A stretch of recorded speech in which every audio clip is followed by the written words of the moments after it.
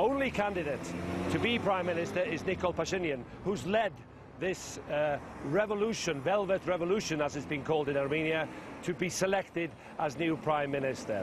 He's led this uprising, these popular demonstrations, by saying there has to be change to Armenia's politics, to the corruption in Armenia, and to try and strengthen the economy. There needs to be a new politics. There was another mass demonstration on Monday here in the capital, and all eyes will be on the parliament today to see if this man, as a former journalist, a member of parliament himself, who's been jailed for a period of time uh, for dissenting, will he become the new prime minister? He set a series of ultimatums. He said he should be the prime minister because he has the support of the mass support of most people in Armenia. So we will see whether the majority of parliamentarians will support him. There are 105 people who will be voting in the parliament.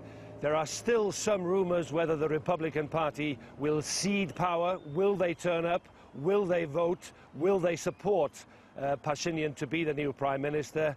And there are concerns that it could lead to a new period of tension. But it, it is a watershed moment in Armenia's history, and there are expected to be tens of thousands of people again coming out on the streets here to pile on the pressure on the politicians to try and move Armenia forward.